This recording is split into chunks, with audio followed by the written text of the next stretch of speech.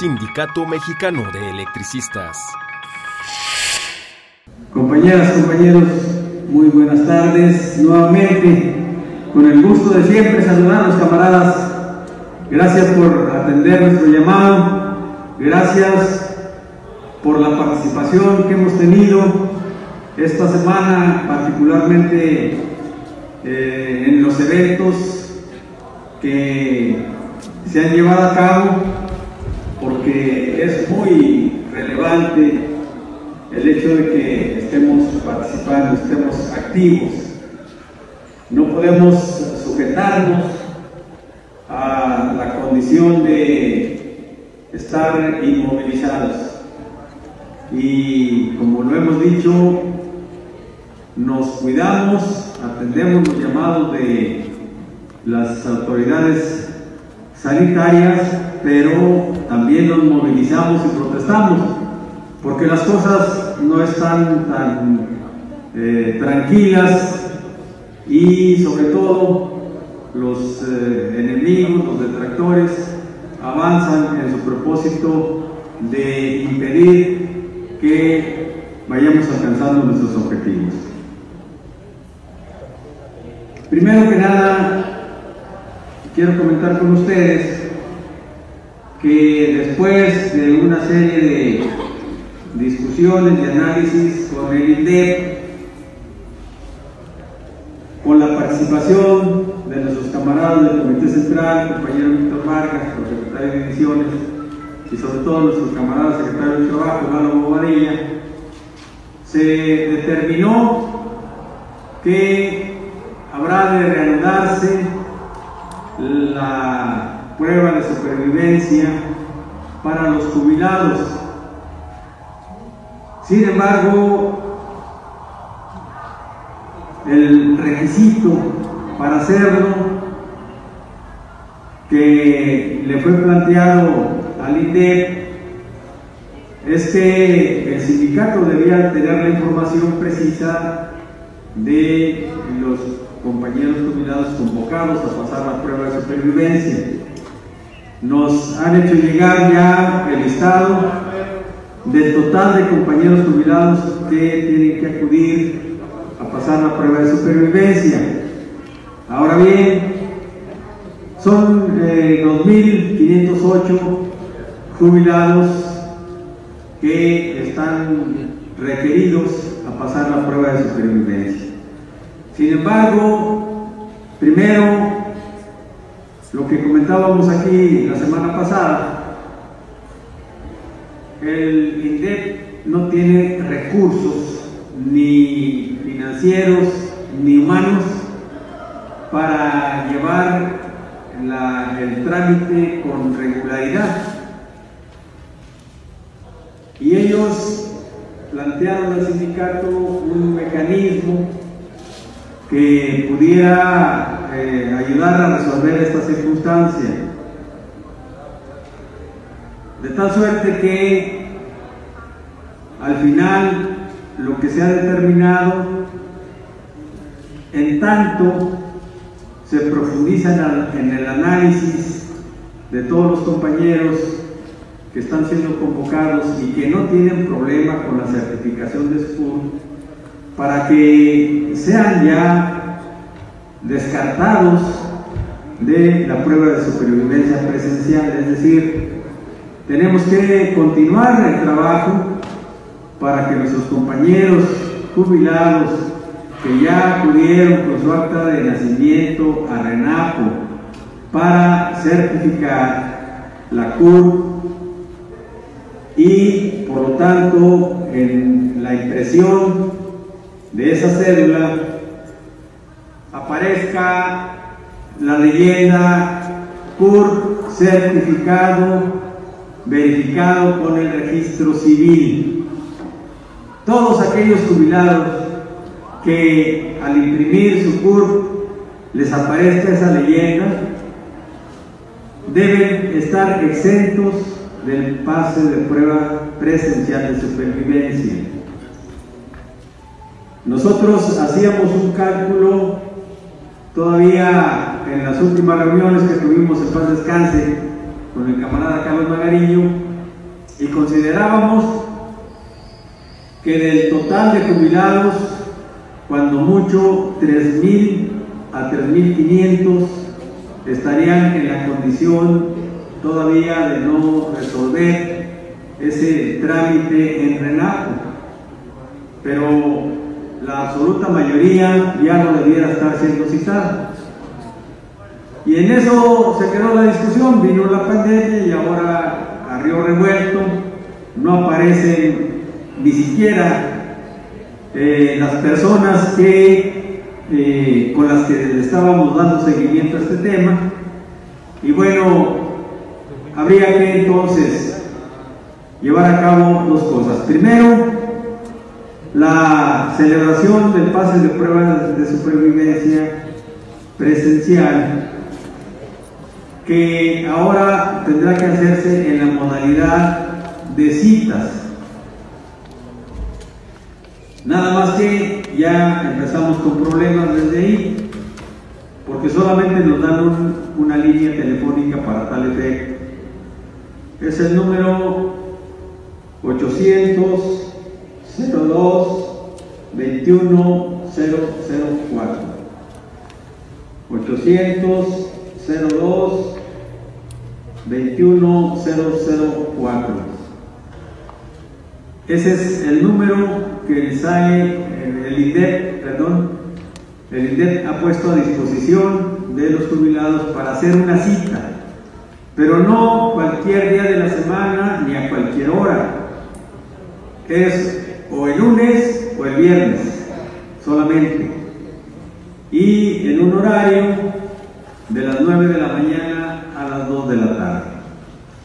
Entonces, el primer paso que debemos de dar, compañeros, y para ello ponemos a, su disposición la oficina de la RECRE ahí en Antonio Caso 45, en donde tenemos en el sistema y tenemos el físico el listado para que aquellos compañeros que aparecieron en el listado inicial del SAE puedan confirmar si deben de pasar la prueba de supervivencia o no.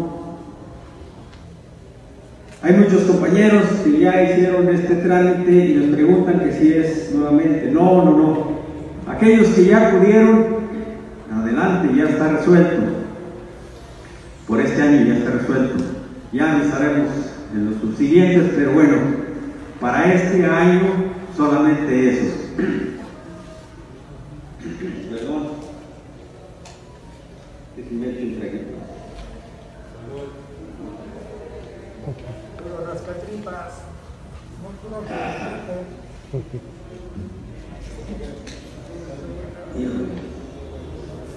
No sale el mezcalito de chartes, pero está sabroso. Teléfono 8 0 0 0 2 2 1 0 0 4 Bien, decíamos, hay que verificar si estamos convocados. Y para todos nuestros camaradas que radican en la zona metropolitana, les pedimos que acudan a la oficina de Antonio Caso 45 para verificar si están en este listado. Repito, son 2.508 compañeros los que estarían convocados a pasar la prueba de supervivencia. Eh, o comuníquense con un servidor y con todo gusto les informo, porque cuando vemos este tipo de llamados y luego se maneja de manera irresponsable, como lo hacen los almazanes, los delgadillos y todos esos que se creen listos y tratan de ponerse al frente de las necesidades de los jubilados. Entonces, en lugar de tener datos precisos, nos confunden. Por eso les pedimos que consulten en las instancias sindicales exclusivamente. La Prosecretaría de Divisiones también tiene este listado y ahí también los atienden con todo gusto. De lo que se trata, compañeros, es que en estos días, yo espero que más tardar la próxima semana, encontremos ya el, el mecanismo más apropiado, porque así como hace la convocatoria el SAE, no está, no se precisa.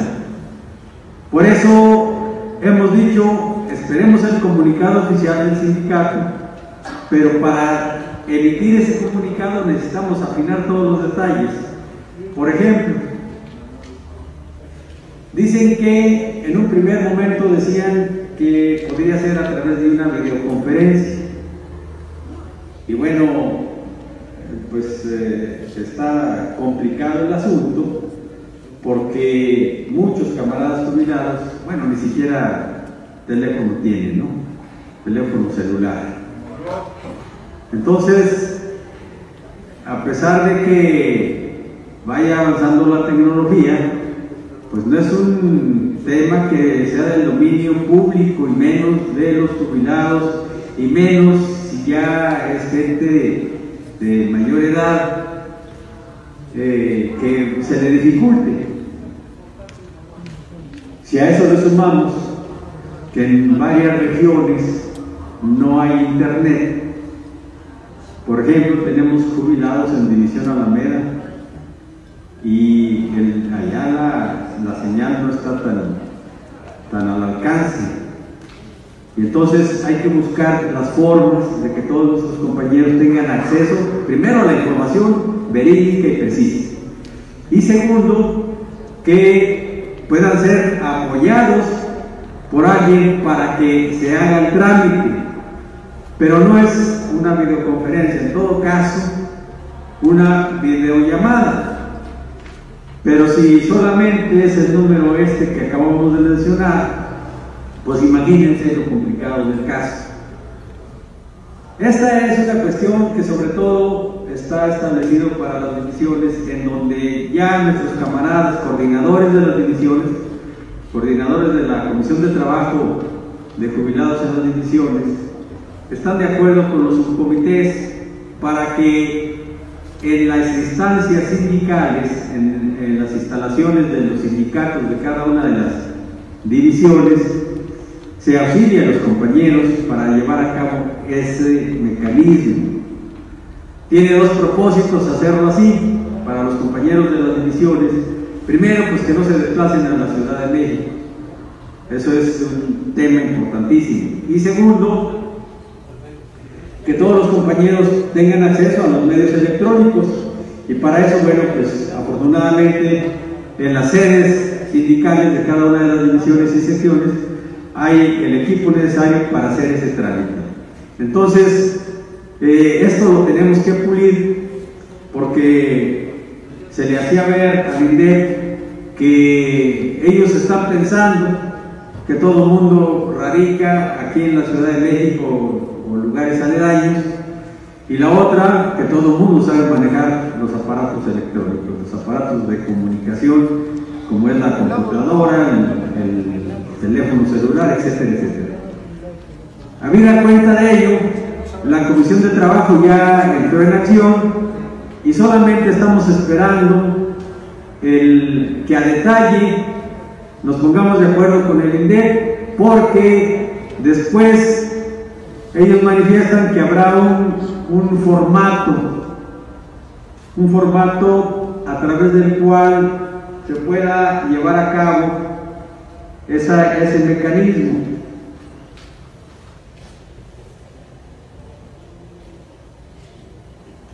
El formato debe ser el documento que nos entregan a la hora de pasar la prueba de supervivencia.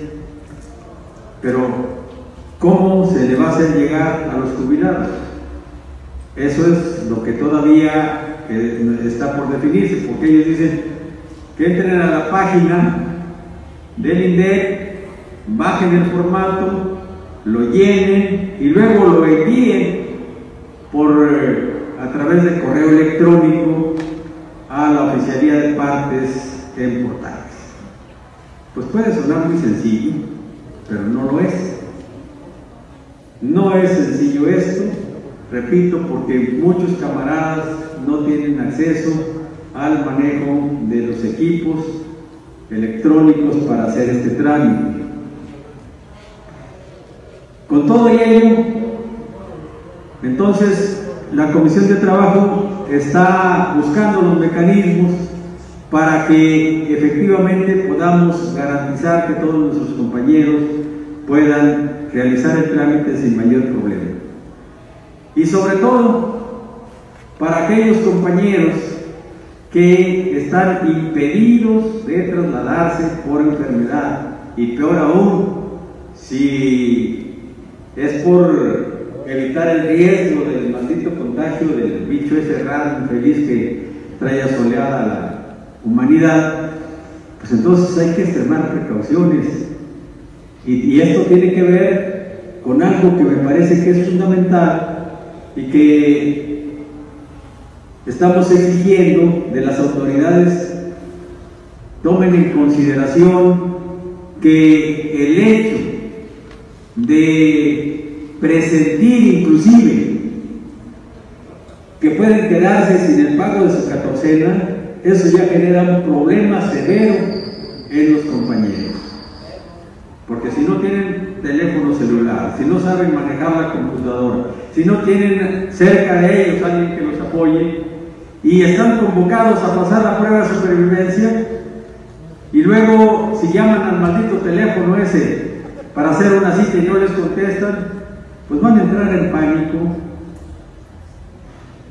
De tal suerte que por conducto de nuestra dirección sindical ha quedado muy claro que no puede estarse jugando con la estabilidad emocional de los compañeros ni ponerlos en riesgo.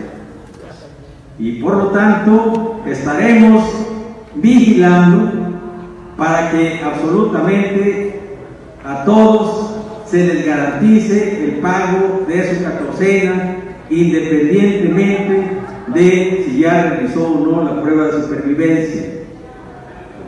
También está por definirse hasta cuándo es el plazo perentorio, pero todo eso tiene que irse afinando en el camino. Ahorita lo que nos parece, compañeros, y por eso lo estamos comentando, para que no nos precipitemos, porque lamentablemente cuando el INDEP sube a, su página los comunicados, pues sobre todo los traidores andan pepenando ahí la información para hacerse de algo de créditos en aras de convocar a la gente a que lo siga. Pero lo que hacen es solamente confundir, porque solamente transmiten lo que el SAE publica y eso no es correcto. Hay muchos detalles y así podríamos estarle buscando y vamos a encontrar muchos detalles que pueden impedir que se concrete el trámite del pago, del, perdón, del pase de supervivencia. Con todo ello, entonces, de parte de nuestra dirección sindical, compañero Lalo Bobadilla, compañero Víctor Vargas, junto con un servidor, garantizarle a todos los compañeros que deben pasar la prueba de supervivencia que el pago de su catorcena está garantizado, compañeros, para que se tranquilicen. Eso sí, también por favor, no dejen de comunicarnos cuando tengan cualquier problema, porque de que hay que hacer el trámite hay que hacerlo. Es muy importante eso, pero más importante es que siendo obligatorio este trámite y muy necesario, también garanticemos la tranquilidad de todos los compañeros. Este tema lo vamos a seguir abordando, lo vamos a seguir tratando. Por lo pronto, ahorita ya podemos iniciar. Si algún compañero quisiera eh, pasar la supervivencia, primero pues cheque la lista a ver si está, segundo, si tiene suerte y hace una cita, pues adelante. Pero si no es así, no se preocupen, los miércoles vamos a estar destinando un espacio a nuestras informativas para ir hablando de este tema y resolviendo algunos detalles que en su momento pudieran impedir que realicemos ese trámite. Con esto, camaradas, me parece que vamos avanzando ya, pero me resultaba muy importante decirles a ustedes que no nos precipitemos y que tengamos esa precaución de que todos los trámites que hayamos que hacer los hagamos aquí, en nuestro recinto sindical, para evitar confusiones y sobre todo para evitar ser presa de eh, los llamados eh, confusos y perversos de los traidores a nuestra organización sindical. Así que al diablo con Almazán, Rosendo, Tapia, Benítez y Pantalaca, por ahí en posa, el otro imbécil del Reinaldo, Reinaldo Delgadillo, en fin, todos esos dipelados. Aprovecho para decirles también Tuvimos comunicado por la mañana con nuestro camarada secretario de Trabajo, nos dice que ya está en pláticas con Agroacemex, pero que todavía no hay fecha para la prueba de supervivencia para nuestros camaradas de renta vitalicia. No se preocupen tampoco porque en tanto no haya un acuerdo entre el sindicato y Agrocemex, no se llevará a cabo la prueba, pero lo más importante, no dejarán de pagar nuestras quincenas, camaradas. Así que por el momento, en cuanto a supervivencia, así estamos y eh, decirles que la Comisión de Trabajo estamos al pendiente de estas cosas para evitar algún problema con cualquiera de nuestros compañeros en la situación en que se encuentre, ya sea jubilado o de renta. Eh, decimos que a estas alturas es decir, cuando este gobierno ya rindió su segundo informe, debieran estar resueltos muchos temas, muchos temas. ¿Por qué?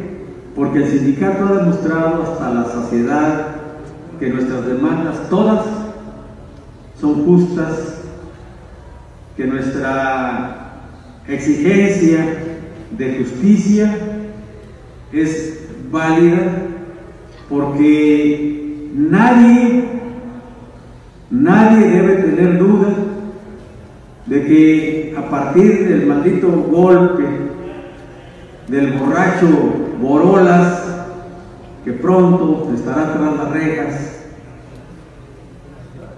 el sindicato actuó dentro del marco de la ley y en pleno acatamiento al mandato estatutario. Y cuando decimos en pleno acatamiento al mandato estatutario, una de esas partes tiene que ver con que ya no aceptamos, porque ya no lo son, como compañeros a los trabajadores que se liquidan. Ya no son miembros del sindicato. Y tampoco aceptamos, porque tampoco lo son, como compañeros a los jubilados, sobre todo quienes fueron dirigentes de este gran sindicato y particularmente quienes fueron secretarios generales, porque traicionaron a la organización, cometieron alta traición a la organización, porque cuando debieron estar al pendiente de la defensa de su sindicato, le dieron la espalda. Y no solo eso, le ayudaron al Corolas y al otro imbécil del Javier Lozano para que miles de compañeros se, se liquidaran. O sea, es una traición vil, de tal suerte que esos dos elementos la traición y el abandono son causas suficientes que ni siquiera se requieren ser juzgadas. Simplemente en lo que el propio estatuto establece, se toman las decisiones y la organización decide continuar su rumbo, continuar su lucha, a pesar de que en el camino nos encontremos con reclamos, con exigencias que no tienen cabida porque ya no somos del mismo gremio. Es decir, aquellos ya no son del glorioso SB. Y en ese sentido, compañeros, vale la pena entonces tener muy claro que desde donde venga cualquier manifestación en desconocimiento de lo que es la vida del sindicato, sus asuntos, sus proyectos, sus logros y su lucha, si no está fundamentada legal y verazmente, no tiene por qué hacerse de caso. Y perdón, no tenemos nada en contra de la cuarta transformación, pero sí tenemos todo en contra de la manifestación del presidente cuando a su juicio el sindicato ya no es democrático. Eso no se lo vamos a permitir a nadie. Y no es que lo confrontemos, no, simplemente si le está creyendo a alguien que así es, malo, no se lo aceptamos. O si es un juicio equivocado de su parte, tampoco se lo aceptamos. Y en todo caso, nos sometemos al rigor de los hechos y que se juzgue paso a paso esta historia recente, esta heroica resistencia que desde el 2009 hasta la fecha ha mantenido el sindicato. Ojalá que todas las muestras de solidaridad y de apoyo que nos dan distintas organizaciones, inclusive a nivel internacional, con base precisamente en la constancia de hechos que tienen en su poder respecto de todos los actos, acciones y decisiones del sindicato en su defensa. Y entonces me parece que está fácil para que se haga un juicio correcto de las cosas, está fácil que se revise la historia. Nosotros estamos absolutamente seguros de que en todo momento los temas fundamentales de la organización se discuten, se analizan, se consultan, se debaten y se acuerdan. Y así hemos avanzado hasta este momento, compañeros.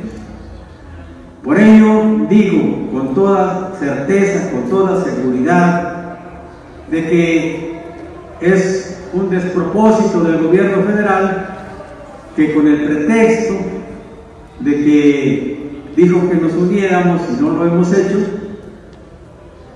no atienda los reclamos del sindicato. Lo dijimos desde siempre, lo repetimos ahora, no podemos juntarnos con quienes se separaron por su propia decisión, por sus propios intereses del sindicato. Ya, ya no quisieron seguir el sindicato, lo traicionaron otros y eso no puede ser posible, eso es imposible. Ahora bien, si hablamos de unidad del sindicato, pues ahí están las muestras también. En estas condiciones de pandemia ha habido gran cantidad de eventos del sindicato que dan muestra clara de esa disciplina que nos rige y que hemos atendido de manera correcta y precisa.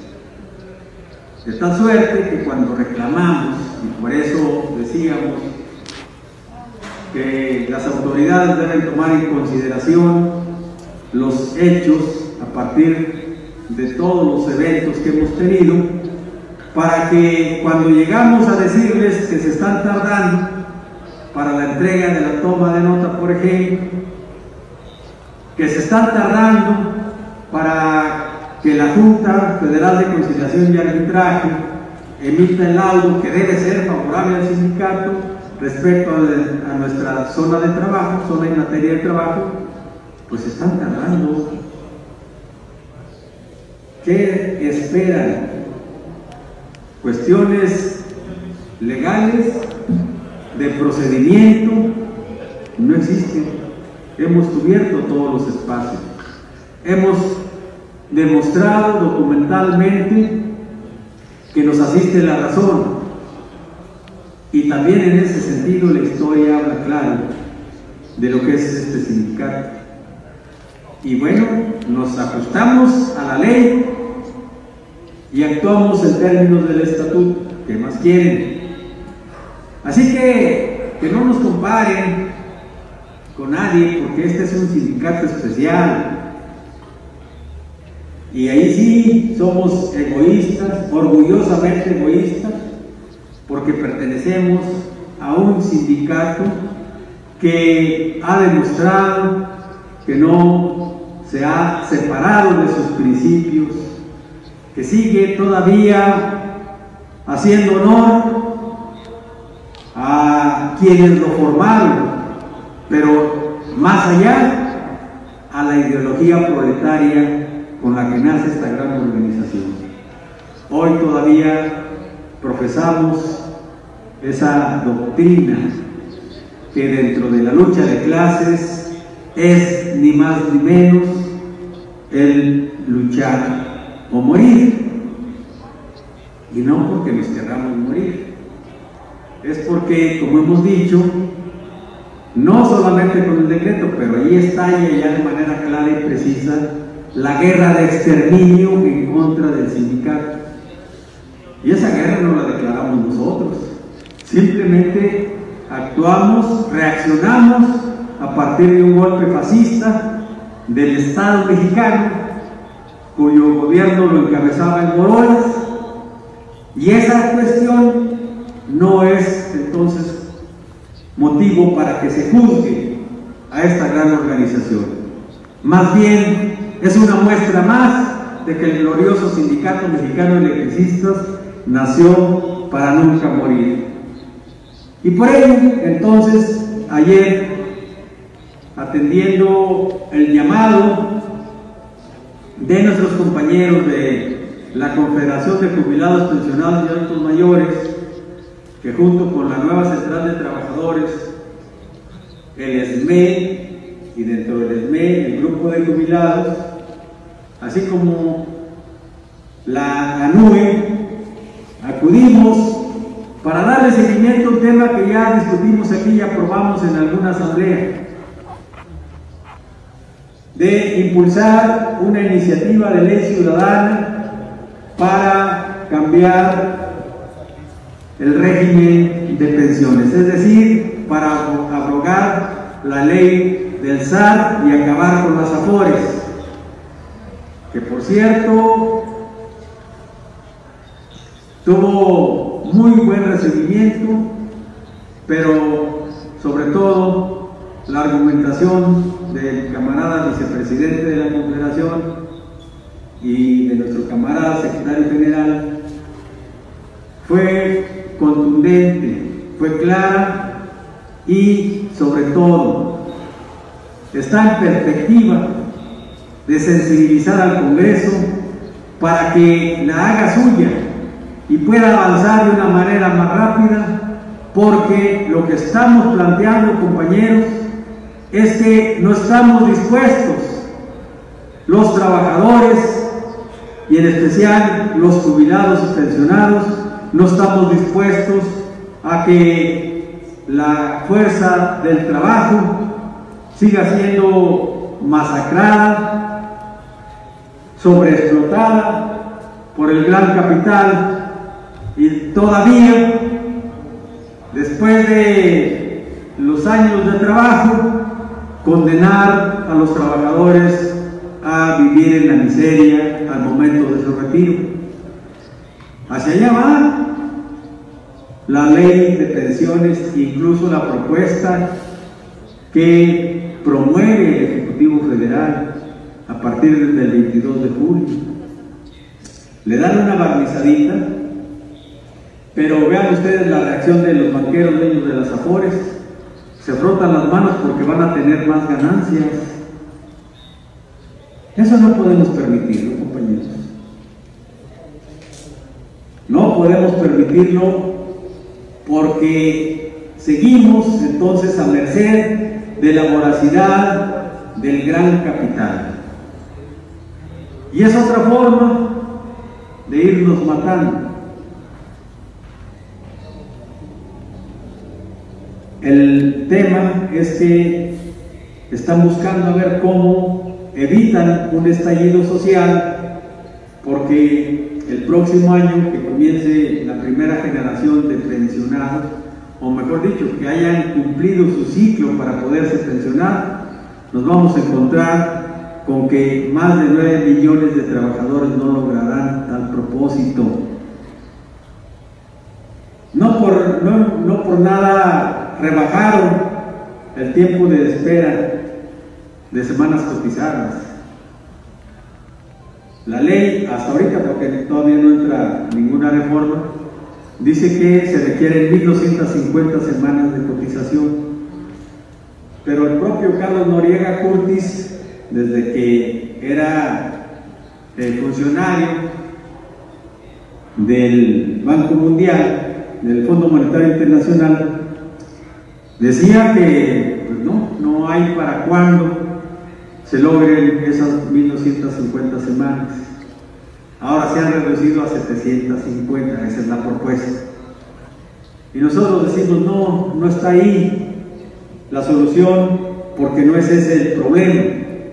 El problema es que han despojado de sus ahorros a los trabajadores. El problema es que el gran capital sigue invirtiendo en sus negocios y nunca, cuando hay dividendos, cuando hay beneficios, nunca le regresan un solo centavo a los dueños de los ahorros. Ah, pero si al contrario, si invierten en un negocio y pierden, entonces paga el ahorrador, paga el trabajador, con las famosas minusvalías. Qué elegantes se volvieron para hablar de la ratería que están cometiendo. Eso, ese mecanismo subsiste en la propuesta del 22 de julio. Ahí está. Se modifican algunas cuestiones, se habla de un ligero incremento en el monto de las pensiones, pero la crisis galopante en la que estamos requiere un ingreso mucho mayor. Y en ese terreno también estamos exigiendo justicia para que nuestros compañeros trabajadores logren con el esfuerzo de su trabajo durante su vida laboral, logren el acceso a una vejez digna, a una pensión digna que les permita vivir en términos de tranquilidad mientras estemos en este régimen de las afores, eso no va a darse, compañeros. Entonces, es muy importante que pongamos atención en esa medida, en ese propósito, exigiéndole al gobierno que regresemos al sistema de seguridad social solidaria. Fíjense ustedes que leyendo la exposición de motivos de la ley de 1943, la ley del Seguro Social, dice que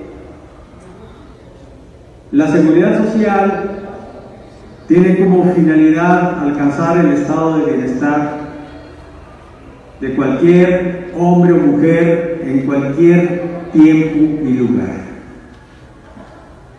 Y el sistema solidario de reparto así establecido desde el 43 hasta el 73 y luego reforzado en el 73, perdón, y luego hasta la maldita reforma que se hizo en el 95 y entró en vigor el, el 1 de julio de 1997 con Cedillo, hasta entonces así estábamos. ¿Por qué?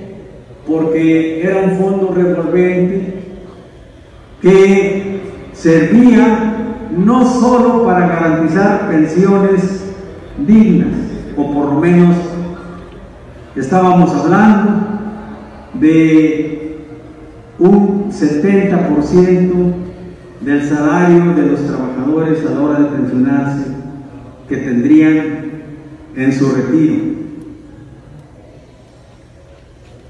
Pero teníamos garantizado que con ese fondo de seguridad social había hospitales, a través de la solidaridad social, que esto todavía estaba establecido en el artículo 8 de la ley de 1973. Así, solidaridad social, que significaba, con ese fondo de pensiones, otorgar apoyo a sectores de la población que sin ser cotizantes de la seguridad social tenían acceso a la atención médica y ayudas asistenciales. Que bueno, ahora para fortalecer la ayuda a los adultos mayores ya está en la Constitución como pensión para adultos mayores. Su origen no es pensión, no puede llamarse pensión, bueno, ya está ahí en la Constitución como tal, pero me parece que esa es una aberración porque su nombre correcto es ayuda asistencial y así está tipificado desde la primera ley del Seguro Social. Ayuda asistencial, que es ni más ni menos a través de la solidaridad social, hacerle llegar recursos a los que no tienen ingresos. ¿Y dónde está entonces la diferencia entre la ayuda asistencial y la pensión para adultos mayores. En el concepto. No es lo mismo dar caridad o limosna que dar un apoyo solidario. No es lo mismo. Porque así como está como pensión para adultos mayores, nos parece que se está abusando del el poder para que nos agradezcan o le agradezcan a quien está proporcionando esos recursos. Pero se separa totalmente, se separa del origen. Y nosotros, por ejemplo, que pagamos impuestos, lo hacemos con gusto pero cuando sabemos que por obligación y sin condición alguna, parte de ese presupuesto, parte de mi aportación, se haga llegar a los que no tienen ingreso. Ese es el espíritu de la ley del 73, desde el 1943 es decir, la solidaridad, va combatiendo de frente a lo que estaba establecido desde la colonia, que a través de las parroquias, perdón, en las haciendas, cada hacienda tenía su parroquia, que era la medida de control. Y a través de la parroquia se hablaba, se hablaba de la caridad y el apoyo mutuo. El origen de la seguridad social es el mutualismo, es la asistencia social, es la previsión social, pero con el principio de solidaridad y de universalidad se crea entonces ese proyecto solidario para que los ahorradores, para que los fondos de pensiones en ese proyecto solidario y bajo el mecanismo revolvente, es decir, que los que están inactivos reciban el apoyo solidario de los trabajadores activos, puedan estar seguros de que en cualquier tiempo y lugar tienen ese ingreso. Porque como está ahorita, esa, esa pensión de adultos mayores, pues así como llegó este presidente y la promovió y se legisló en ese sentido, puede llegar otro presidente que promueva lo contrario. Se modifica la constitución y se acabó. Y esto entonces, compañeros, es el fondo de la lucha. ¿Por qué es importante esa iniciativa que se interpuso el día de ayer? Porque va buscando recuperar efectivamente ese carácter solidario de la seguridad social. Estemos entonces muy atentos a lo que suceda con ello, démosle en todo momento nuestro respaldo a la Confederación de Jubilados, Pensionados y Adultos Mayores, que por cierto somos parte de ello, pero lo más importante, compañeros, es que estamos haciendo las cosas como consideramos que se deben de hacer después del análisis, la discusión y los acuerdos, para que nadie diga que estamos faltando a la democracia. El sindicato está participando conscientemente porque está obligado, de acuerdo a los principios de esta gran organización, a hacer fraternos y solidarios, así lo dice el estatuto, compañeros. Así que estamos cumpliendo con el estatuto y estamos en pie de lucha. Felicitamos a la Confederación por este gran paso que ha dado. Vamos a seguir impulsando y sobre todo, compañeros, reconocer que nuestros compañeros del Comité Central están muy atentos a todos los eventos, dando el planteamiento adecuado en el momento preciso para saber qué hacer, pero sobre todo dejar claro ante la opinión pública que tenemos un proyecto y ese proyecto incluye todos los eventos, acciones y demandas que la clase proletaria está enarbolando en este momento. Así que, por eso, reconocimiento a nuestros camaradas de la dirección y particularmente a nuestro camarada secretario general Martínez Parzadores, que estuvo presente en el evento y sobre todo con un planteamiento muy concretito de qué es, cuál es el que hacer y hacia dónde tenemos que ir.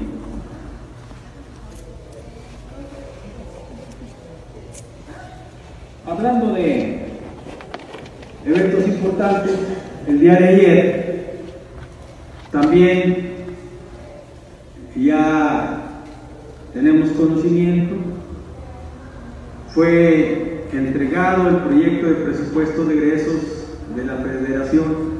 Como ustedes saben, la Cámara de Origen para este propósito de presupuesto es la Cámara de Diputados. Y estuvimos al pendiente de qué iba a suceder con la propuesta, porque desde el maldito decreto nos han condenado a defender año tras año de la asignación presupuestal en el ramo 19, concepto J025. Y hemos de recordar que al inicio del periodo de sesiones del Congreso, el Ejecutivo Federal hace llegar a la Cámara de Diputados el proyecto de presupuesto para el siguiente año. En principio, nos parece correcto lo que ya sucedió, pero advertimos, porque ya don Antonio Almazán ya anda publicando que su presidente pero no es normal de también es de nosotros, ya envió la propuesta y Salamero y al mismo tiempo traicionero como es, pues ya le está diciendo al señor presidente muchas gracias porque estás eh, asegurando el cobro de nuestras catorcenas para el siguiente año. No, compañeros, no hay que irse con la pinta. Claro, Almazán lo hace porque él sigue empeñado en denostar la figura del secretario general del Sindicato Mexicano de Electricistas. Es decir, frustrado, como es un renegado social, no acepta absolutamente nada que emane de la soberanía sindical y permanentemente sigue denostando la figura de nuestro camarada Martínez Parza como secretario general. Así que por se lo pueden encontrar porque anda ya circulando en el Face. Pero nosotros sabemos qué es lo que tenemos que hacer y nosotros sabemos que si bien el Ejecutivo Federal hace su propuesta, esta la puede modificar el Congreso. No es porque ya lo dijo, ya lo propuso el presidente y así se va a quedar. Por supuesto, esperamos que así sea, porque está programado en el ramo 19 concepto J025 una cantidad de 22 mil 22 mil millones 138 mil 500 pesos para el pago de las cuotas de jubilación y demás obligaciones que tiene el Estado mexicano para con los jubilados, porque son derechos adquiridos, es decir, todas las prestaciones a las que tenemos derecho están garantizadas y bueno, esta es la propuesta para el año 2021. ¿Y por qué hacemos un reconocimiento a nuestro secretario general? Porque aprovechando estaba en la Cámara,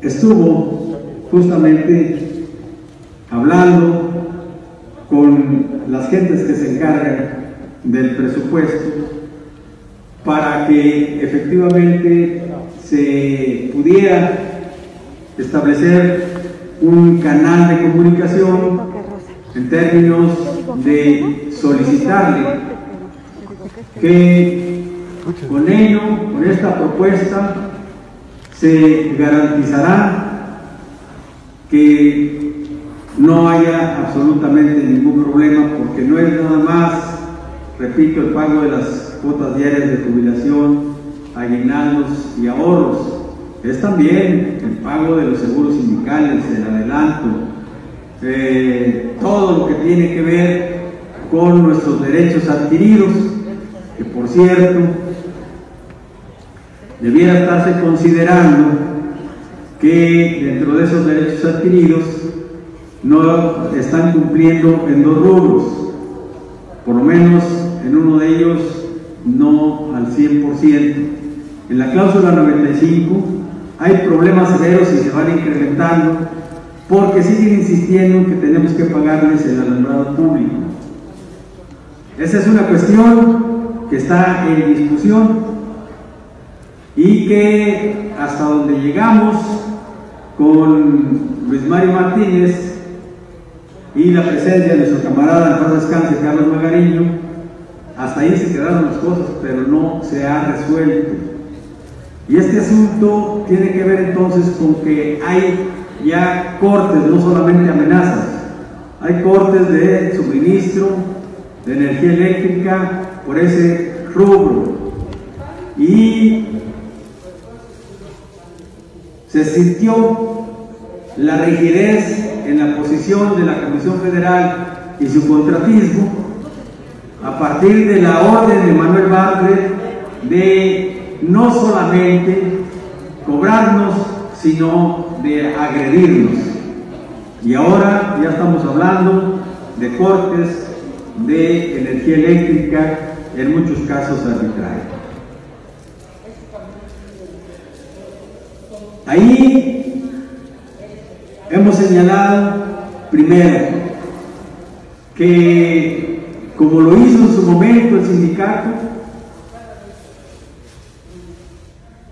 en una revisión del contrato, nuestro sindicato le pidió a la Administración de y Fuerza que nos informara a cuánto ascendía el monto de la prestación de la cláusula 95.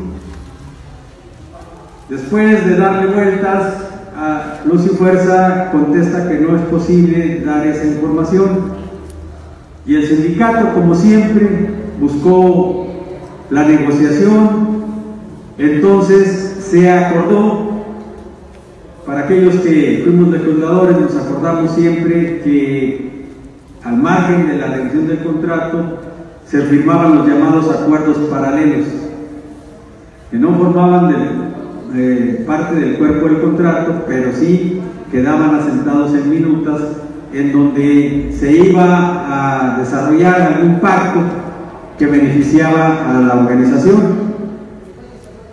De tal manera que con el argumento de que el pago del alumbrado público no está en el contrato, a partir del 30 de enero del 2013, el entonces SAE, ahora INDEP, dejó de pagar el alumbrado público. Y desde entonces venimos batallando. Y ya le exigimos al INDEP lo mismo. Entréganos un estudio actuarial del monto de la prestación. Y la misma respuesta. No tenemos ese monto. Pero ahora ya no es me debes y ahí se va incrementando la, la cantidad. El último recibo que revisé creo que por ahí me están cobrando 16 mil pesos. Este, yo sigo insistiendo, pues mientras no venga no se fuerza a cobrar, yo no le voy a pagar. Claro, cuando estamos en las reuniones con el INDEP, señalamos que esos son acuerdos que se establecieron para resolver un problema en ambas partes. Si bien Luz y Fuerza no estaba en condiciones de darnos ese estudio actuarial, bueno, hazte cargo del recibo. Porque haciendo un análisis, aún con eso, aún pagando el alumbrado público, había remanentes que no se entregaban al sindicato. Hoy, con mayor ganas, con mayor eh, determinación, podemos exigirles que nos entreguen cuentas, pero eso simplemente no se da. Y mientras nos estamos enfrentando con gente que simplemente va y corta y están provocando enfrentamientos que ya lo sabían. Esa cuestión es una irresponsabilidad directamente de Manuel Bartlett.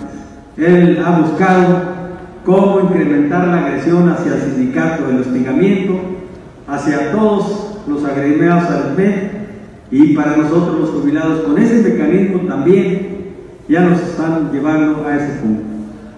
Por eso es muy importante, compañeros, que quienes tengamos ese problema promovamos también nuestra queja para protegernos y sobre todo no dejemos que nos cambien el medidor, no dejemos que pongan ese mecanismo satelital, porque ahí ya no hay posibilidad de colgarse si te llegan a cortar la luz.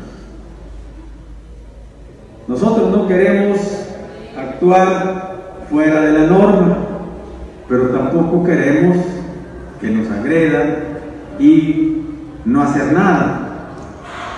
De tal manera que nos estamos defendiendo porque no tenemos una respuesta, no hay quien nos conteste de manera precisa sí o no, con argumentos. No hay quien lo resuelva.